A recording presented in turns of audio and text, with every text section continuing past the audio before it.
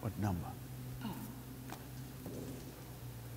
169, at the Lamb's High Feast.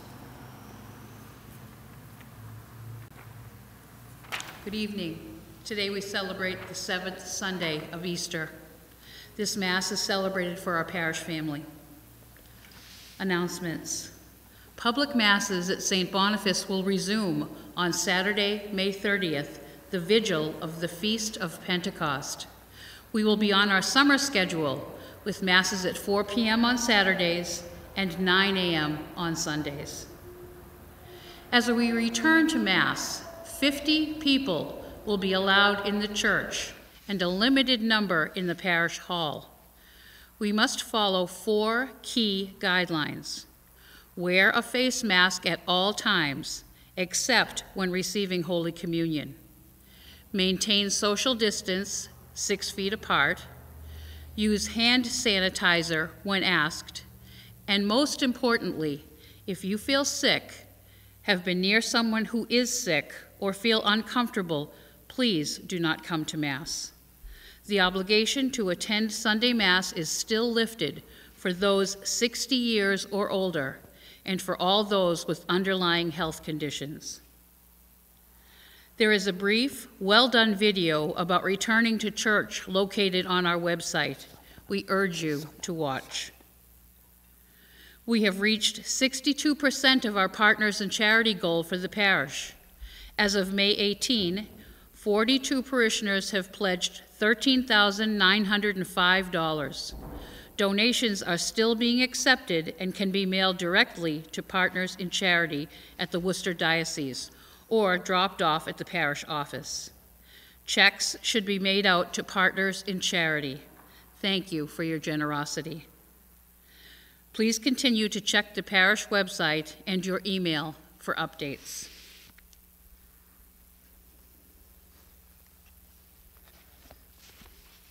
Our opening hymn today is At the Lamb's High Feast.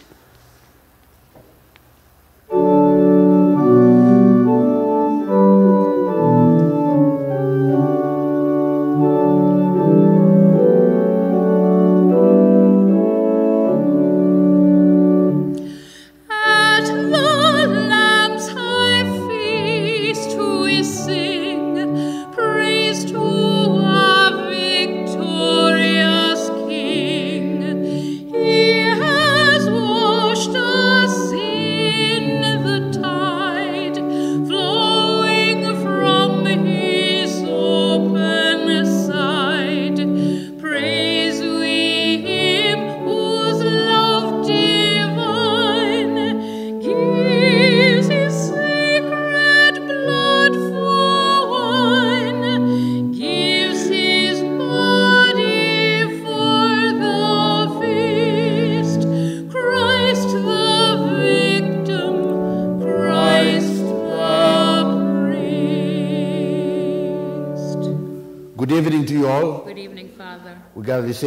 Father, and of the Son, and of the Holy Spirit. Amen. The grace of our Lord Jesus Christ, the love of God, the fellowship of the Holy Spirit be with you all. And with your spirit. This weekend, we gather to celebrate the liturgy of the seventh Sunday of Easter in order to offer a worthy prayer to the Lord this evening. Let us call to mind our sins, ask God for peace and forgiveness.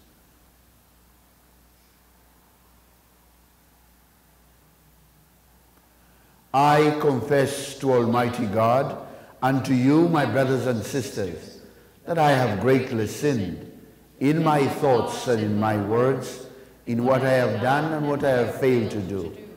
Through my fault, through my fault, through my most grievous fault.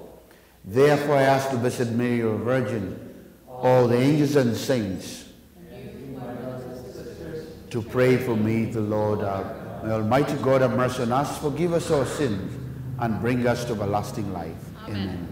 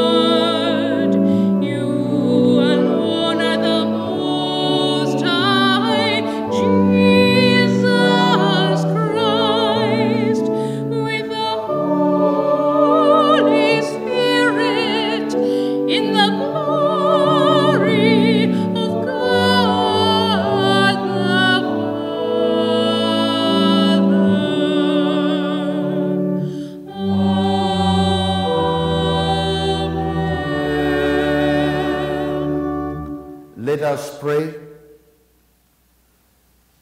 Graciously hear our supplications, O Lord, so that we who believe that the Savior of the human race is with you in your glory may experience as he promised until the end of the world his abiding presence among us, who lives and reigns in the unity of the Holy Spirit, one God forever and ever. Amen.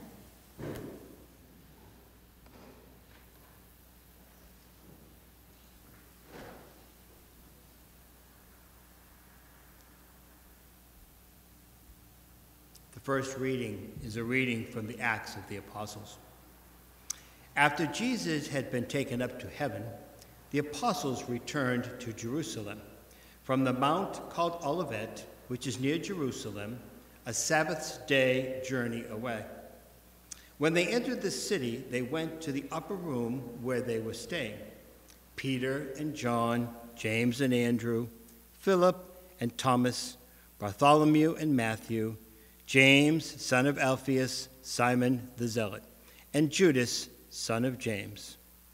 All those devoted themselves to one accord to prayer, together with some women and Mary, the mother of Jesus, and his brothers. The word of the Lord.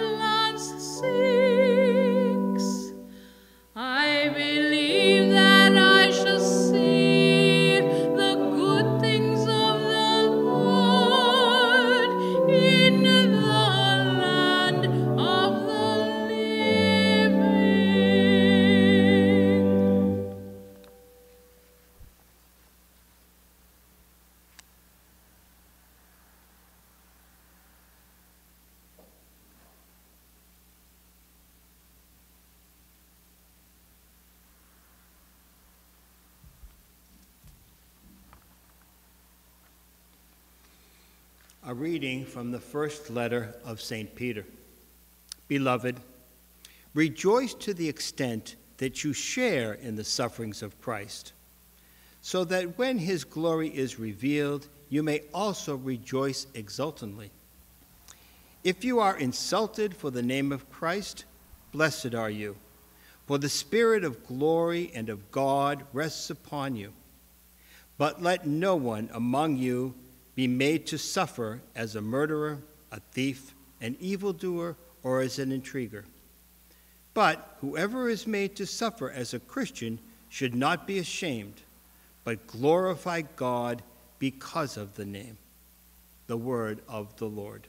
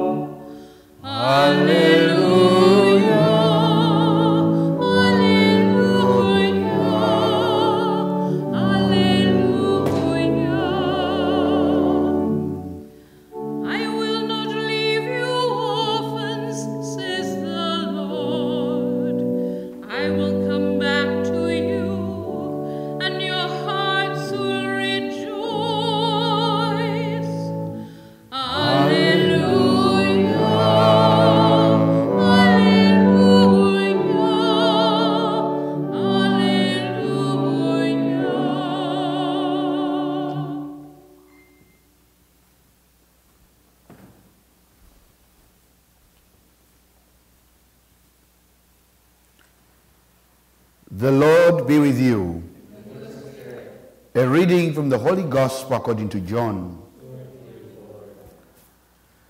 Jesus raised his eyes to heaven and said, Father, the hour has come. Give glory to your Son, so that your Son may glorify you, just as you gave him authority over all the people, so that your Son may give eternal life to all you gave him. Now this is eternal life that they should know the only true God and the one whom you sent, Jesus Christ. I glorified you on earth by accomplishing the work that you gave me to do. Now glorify me, Father, with you, with the glory that I had with you before the world began. I revealed your name to those whom you gave out to the world. They belonged to you and you gave them to me, and they have kept your word. Now they know that everything you gave me is from you, because the words that you gave to me I have given to them, and they accepted them and truly understood that I came from you, and they have believed that you sent me. I pray for them. I do not pray for those, for the ones you have given to me in the world, but they are yours, and everything of mine is yours, and everything of yours is mine, and I have been glorified in them. And now I will no longer be in the world, but they are in the world while I'm coming to you. The Gospel of the Lord. Praise to you, Lord Jesus Christ. Good evening once again. We have some good news. And again, uh, just say some. Next Saturday, great news we have. May the 30th and May the 31st, 4 p.m. on Saturday, we will enter into a new phase here in our parish life during these uncertain times of the pandemic. We will, although in a limited way, begin our public masses, liturgies and gatherings in our parish. As I said, this is good news, even if it fills us still with a little bit of anxiety that it brings that the virus is still with us. During the last six to eight weeks, there are many things that have happened in our parish. We have been closed, but we have been very open. We have had many events, many liturgies that have come to you via the internet, many things that have been mailed to us at our homes. Many of you have written us various gracious notes and emails of encouragement, so I thank you all. Although the priest in a parish may be the face of what happens, there is a lot of people behind the scenes who are doing actually all the work So I want to thank them as we enter into this new phase. I'd like to thank Claire and Judith, our music team. I'd like to thank Jeremy, our videographer, Carla Capucci, Parish Connect, and the whole team. Robert DiGeronimo, who was behind everything, website, the Knights of Columbus, the Women's Guild, Lucy and Anna Regis Education, and of course, Joanna, parish secretary, who have all or who does always put everything together. There are five critical things that we need to know as we come back to church. The first one, the obligation is still lifted for Sunday Masses for all those who have underlying issues or 60 years and older and uncomfortable gathering in this kind of setting in the church. Secondly, bring your mask and wear your mask at all times in church when we begin. The other, the other key guideline is to stay six feet apart. So as you prepare to come next weekend, we shall have the pews marked out that you remain six feet apart. Social distancing is very important. Use the hand sanitizer, come with it, and whenever we're going to ask you to use it, please use it. And lastly, which is most importantly for me, if you feel sick, you've been near somebody who is sick, you feel uncomfortable in these settings of coming to church, please stay at home. You know, we shall still have the online masses coming to you at home. Stay safe and keep others safe. So as I said again, we shall still have the online masses coming to you. Last Sunday, Father Bob Brusso at St. Cecilia's Parish celebrated 70 years of age. And reaching 70 was a big deal for him. It was one of the things on his bucket list because none in his family has ever reached the age 70. So it was a big deal for him. Father Bob has been struggling with a few, not even a few, a lot of uh, difficult health issues recently. A few priests and I got wind that the parishioners of St. Cecilia's we're organizing one of these birthday parade of cars around the rectory for him. And so we decided to join in. But we are all unready for the reaction that we would get when we went there. Some of us came from Worcester, some of them came from Worcester, myself, a few priests from, from Leominster, Lunenburg, some people from Gardner. How it was all organized, the good heart of the people really struck us as priests. And there was something more for me, something that I really saw in the people, and can be described in two words, two words that you want to see in the world today. And those two words for me are, I care. I care. For a priest who is having failing issues, the parishioners to say, we're going to lift you up in this time. I care. These words, when we put them into actions, must must and will always be the most important prayer that we can give to others in, in our communities, in our lives. I feel for me this is the most perfect prayer of solidarity that we need in our world today. Reaching out to others, unity in suffering, charity in action. This summarizes the Christian life. The needs of others matter. Others matter in our lives. I care and you care that it does, that they do matter. And for me, this spoke volumes about the people of this parish, St. Cecilia's. In these days of the pandemic, we have all come to figure out the things that really matter in our lives and the things that do not. We have all come to figure out quickly the things that we need to hold on to and the things that, frankly, we don't need to hold on to. We have found out painfully, rather painfully, that everything can and does stop. But what really matters in our lives? What is of true value? I think on my list, on all of us on our priority list right now, that we are all writing in our own lives, the sense of being together really matters. Sense of family, sense of community, being together with our loved ones. We have come to know that the weakness and failures of others can quickly affect us all but also come to know that the strength of others and our strength, when we extend them to others, can make a difference in the lives of others. This experience is what it means to be a true follower of Christ.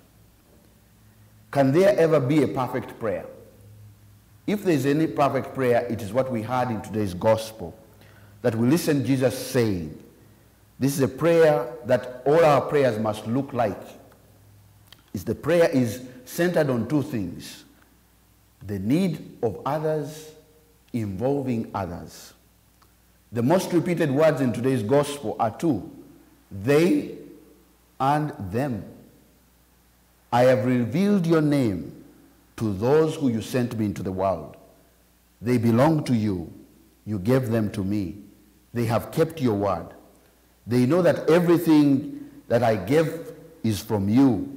The words that you gave me, I gave to them. They accepted them. Truly, they understood them that they come from you. I pray for them. I don't pray for those in the world, but for the ones that you gave me. They and them, Jesus repeats. A prayer for others that others' needs matters. And so that is the prayer that we all must live with too in our own lives. Jesus' prayer must become our own prayer in our lives. It's a prayer of unity, love, and considering always the needs of others. This must be our manner of life. It is seven days to Pentecost. What will make us so ready for this gift of the Spirit to dwell into our lives, to our midst? What will open the floodgates of the Spirit to work in our lives? I just wrote down a few things for myself that maybe we can also share together this afternoon. Refuse looking out only for self. Others matter. Embrace an attitude of living, a manner of prayer that involves others. Care for others, the needs of others. Never be indifferent to the plight of others, especially the sick and the poor.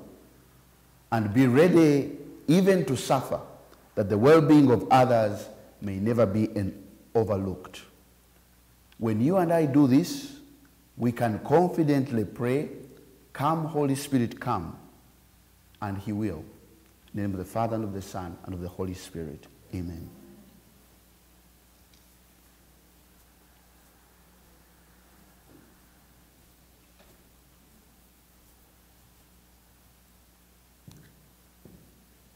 Let us now stand and profess our faith, for we believe in one God, the Father, the Almighty, maker of heaven and earth, of all things visible and invisible. I believe in one Lord Jesus Christ, the only begotten Son of God, born of the Father before all ages, God from God, light from light, true God from true God, begotten, not made, consubstantial the Father.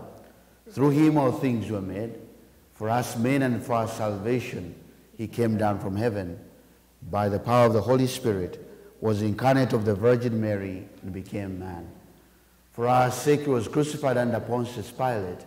He suffered death and was buried. He rose again on the third day in accordance with the scriptures. He ascended into heaven and is seated at the right hand of the Father.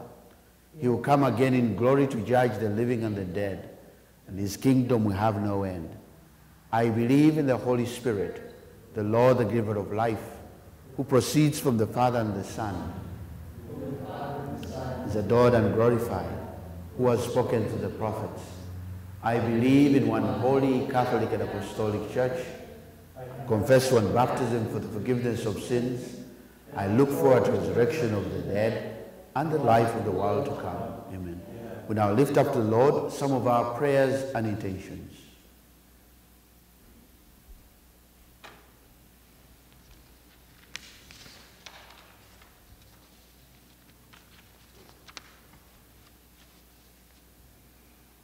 For the church, that knowing Christ has prayed for us, we may deepen our identity as children of God and be strengthened to carry on the mission of Christ each day.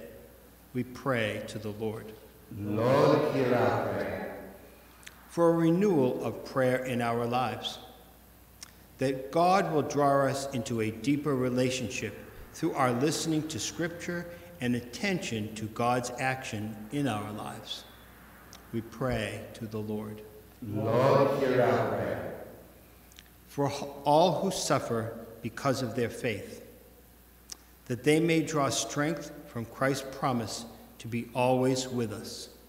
We pray to the Lord. Lord, hear our prayer. For a new outpouring of the Spirit upon the Christian community, that God will heal the wounds of the body of Christ, free us from fear, and unite us in mission and worship. We pray to the Lord. Lord, hear our prayer. For the leaders in every parish, that they may develop wise practices as public gatherings resume, and that many hearts may be open to assisting in the parish in new ways, so that everyone who comes to church may be safe. We pray to the Lord. Lord, hear our prayer. For all who are ill, particularly those with COVID 19, that God's healing spirit will fill them, ease their pain, and restore them to wholeness. We pray to the Lord. Lord, hear our prayer. For all, all those who have died, especially remembering those this Memorial Day weekend that have sacrificed their lives for the peace and freedom that we enjoy. We pray to the Lord. Lord, hear our prayer. To conclude our prayer, the prayer of Mother Mary as we pray, Hail Mary, full of grace, the Lord is with thee. Blessed are you among women, blessed is the fruit of thy womb, Jesus. Holy Mary, Mother of God, pray for us sinners, now and at the hour of our death. Amen.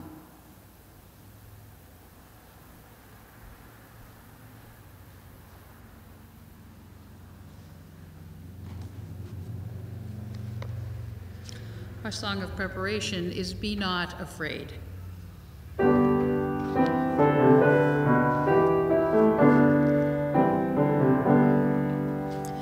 You shall cross the barren desert,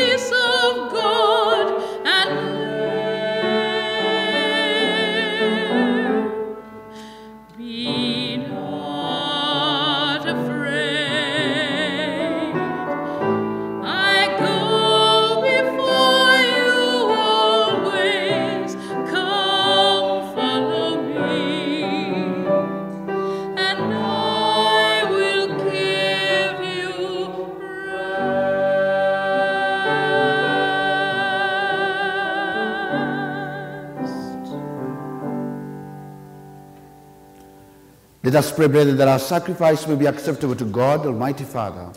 May the Lord accept your sacrifice at your hands The praise and the glory of his name. for our good and good of all his church. Accept, O Lord, the prayers of your faithful with the sacrificial offerings that through these acts of devotedness may pass over to the glory of heaven. We ask this through Christ our Lord. The Lord be with you. Lift up your hearts. Let us give thanks to the Lord our God. It is right and just. It is to right and just, our duty and our salvation. Always and everywhere to give you thanks, Lord, Holy Father, Almighty and eternal God, for, the, for our Lord Jesus Christ, the King of glory, conqueror of sin and death, went into heaven, into the highest heavens, as the angels gazed in wonder, mediator between God and man, judge of the world and Lord of hosts. He ascended not to distance himself from our lowly state, but that we, his members, might be confident of following where he, our head and founder, has gone before. Therefore, overcome with paschal joy, every land, every people exult in your praise, even the heavenly powers, angelic hosts, sing together the unending hymn of your glory as they acclaim.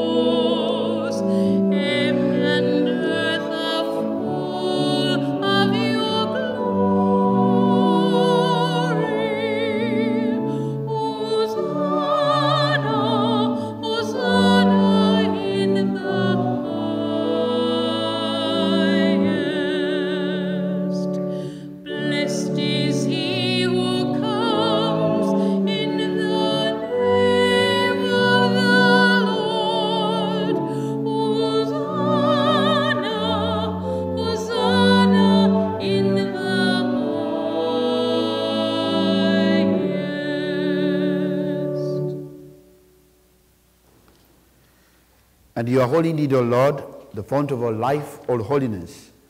Make holy, therefore, these gifts, we pray, by sending your Spirit upon them like the dewfall, that they may become for us the body and blood of our Lord Jesus Christ. At the time Jesus was betrayed, entered willingly into his passion, he took bread, giving thanks, he broke it. He gave it to his friends and disciples, saying, Take this, all of you, and eat it. For this is my body, which will be given up for you.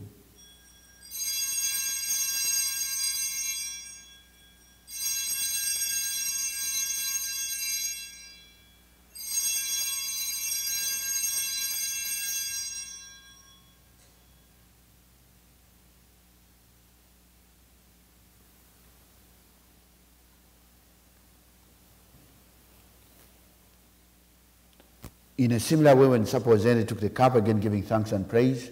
He gave it to his friends and disciples, saying, Take this, all of you, drink from it. This is the chalice of my blood, the blood of the new and eternal covenant, poured out for you and for many, for the forgiveness of sins. Do this in memory of me.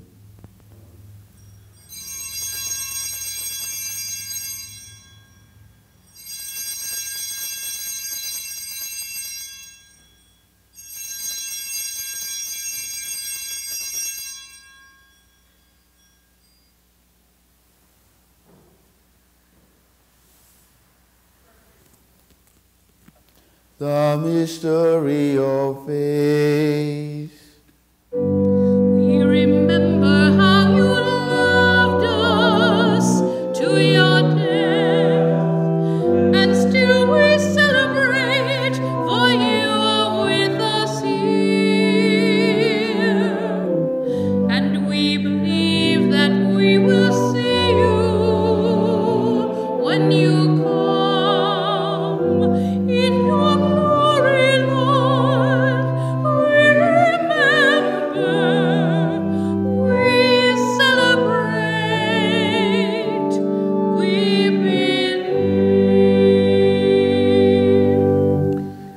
As we celebrate the memory of his death and resurrection, we offer you, Lord, the bread of life, the chalice of salvation, giving thanks to have held us worthy to be in your presence and minister to you. Humbly we pray that partaking of the body and blood of Christ, we may be gathered into one by the Holy Spirit. Remember, Lord, your church spread throughout the world, bringing the fullness of charity to the Francis our Pope, Robert our Bishop, all the clergy. Remember our family members, brothers and sisters who have fallen asleep in the hope of the resurrection, all who have died in your mercy. Welcome them now into the light of your face. Have mercy on us, so we pray. The Blessed Virgin Mary, the Mother of God, the blessed apostles, St. Boniface, our patron saints, all the saints who pleased you throughout the ages, that we may merit to be coherents to eternal life, may praise and glorify you through your Son, Jesus Christ. Through him, with him, in him, in the unity of the Holy Spirit, all glory and honor is yours, Almighty Father, forever and ever.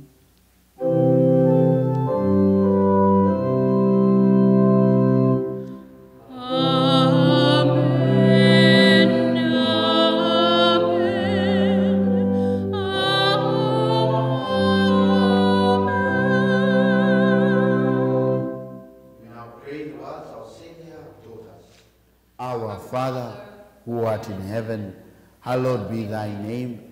Thy kingdom come, thy will be done, on earth as it is in heaven. Give us this day our daily bread. Forgive us our trespasses, as we forgive those who trespass against us. Lead us not into temptation. Deliver us, Lord, we pray, from every evil. Grant us peace in our families and in our days, that by the help of your mercy we may be free from sin, safe from all distress, as we await a blessed hope, the coming of our Savior, Jesus Christ.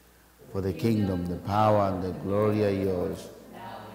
Lord Jesus Christ, you said to your apostles, Peace I leave you, my peace I give you. Look not on our sins, but on the faith of your church. Grant us the peace, the unity of your kingdom, where you live forever and ever. The peace of the Lord be with you always. We show to one another a sign of peace.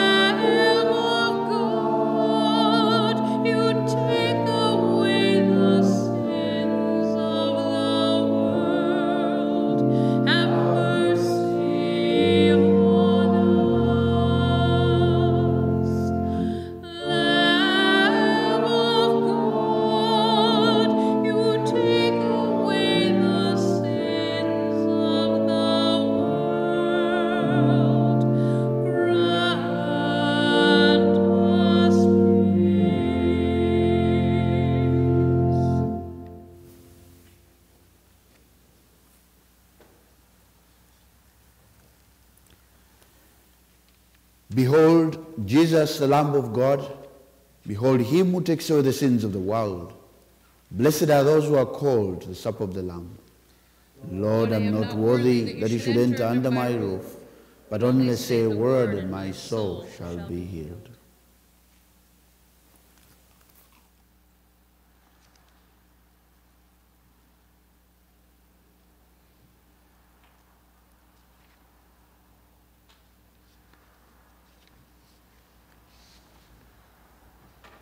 An act of spiritual communion. My Jesus, I believe that you are present in the most holy sacrament. I love you above all things, and I desire to receive you into my soul. Since I cannot at this moment receive you sacramentally, come at least spiritually into my heart. I embrace you as if you were already there, and unite myself wholly to you. Never permit me to be separated from you. Amen. Our communion song is Bread of Life.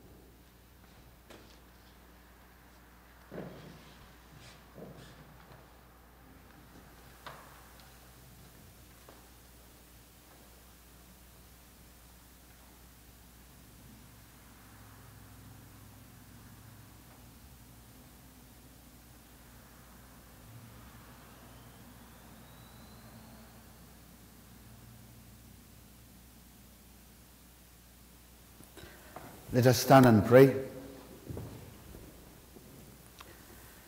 Hear us, O God our Savior, and grant us confidence that through these sacred mysteries there will be accomplished in the body of the whole church what has already come to pass in Christ our head, who lives and reigns forever and ever. The Lord be with you. May Almighty God bless us all, the Father, the Son, and the Holy Spirit. Amen. Our Mass is ended. Remain in the peace of Christ. Thanks be to God. Have a good week, everyone. You too, Father. Our closing hymn is America the Beautiful.